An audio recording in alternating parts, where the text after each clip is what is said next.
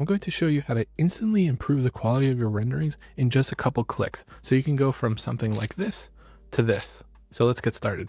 So the first thing you need to do is render out an image and you're going to want to go over to the AI post processor. Okay. So if you're not at the screen, just make sure you hit source, double click your rendering and it'll put it in the preview.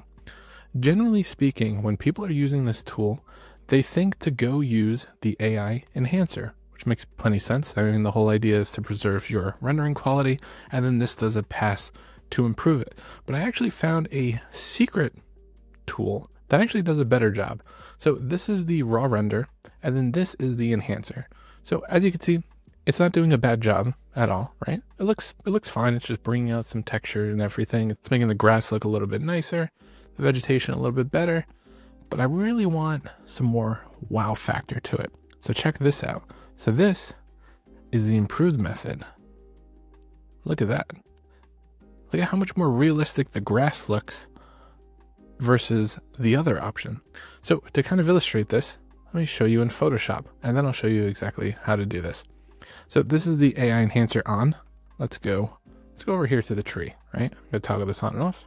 So before, after. So minor, minor enhancements. You know, we'll look at the shadows. Okay, and we'll look, we'll look here. And we're getting that nice texture. This is the hack I'm talking about. Sure, it's adding some artifacts, but that we can actually fix very easily. But look at the vegetation. Look right here. Look at how much better that looks. Like the grass has got all these leaves, all this extra detail. We've got this being completely improved. Look at that.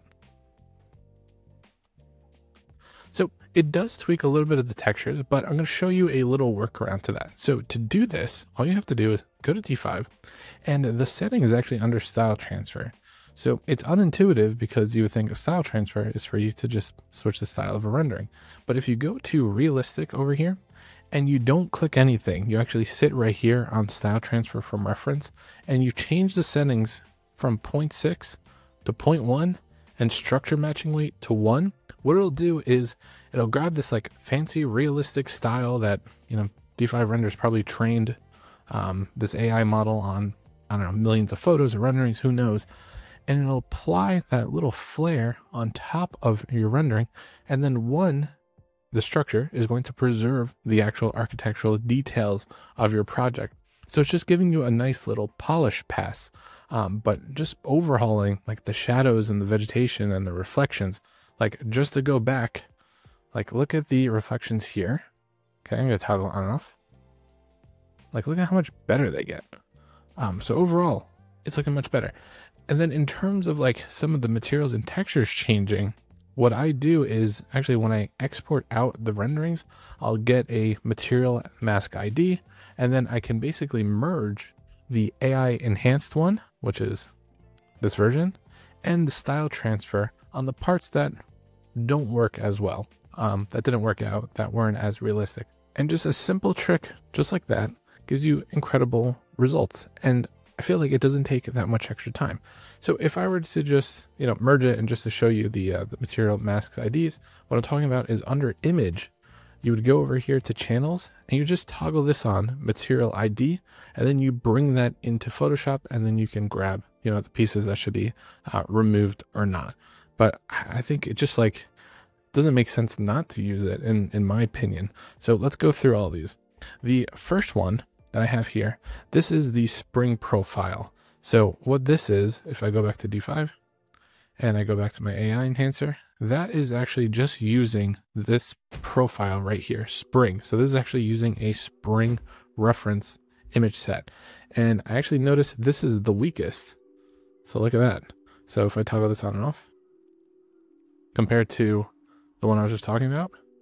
Like, look at that. You lose all the detail. It looks very, very, I don't know, kind of weird with all these like lines and it just doesn't look super, super realistic. Um, the textures are a little washed out here. And that's the original. So that, you know, it's definitely an option, but I found the reference to be so much better. And then to just show you what the mask would look like, go over here, channels, material ID, all right, cool. Now that that's baked, I'm gonna go over to Photoshop, grab this. And this is what I'm talking about. So if you're saying, oh, okay, well, I don't like that it changed my bricks here. All you would do is select color range, grab your mask, okay? Select that, that's all been selected. And if you go to the, the good, realistic, you know, hack one, and before you mask it, you're gonna wanna invert it. So if you invert your selection, it's gonna select the outside. So then when you mask it, everything else changes except this selected area. So now the idea is like I've got the AI enhanced version and I've got my own version on top of it, uh, which is kind of nice. So you can play with masks um, to kind of choose what you want and what you don't want. Again, you could either invert or not invert. So let me just show you that. Let me disable, uh, let me delete that one, go back here, and we'll do select color range, grab this guy, and we'll mask this. So you can see that.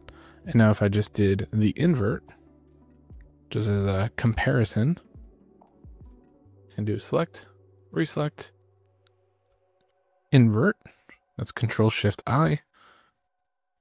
And there you go. And now you're letting in whatever you want. So it's really not that difficult to control what aspects should be brought in or not. And if there's any mistakes, it's a mask. So you could easily just paint away uh, what should be there and what shouldn't be there. So there you go. So pretty handy trick. Anyways, if you really like this tip, um, just putting it out there, I'm hosting a free webinar this Saturday, 1 p.m. Eastern time. It's all about how to improve your renderings. I'm going to go over my, my workflow, my formula uh, to improve renderings. Again, totally free. If you're interested in signing up, there's a link in the description and the pinned comment. As always, if you have any questions, drop a comment and like and subscribe. Helps the channel out, and I'll see you next time.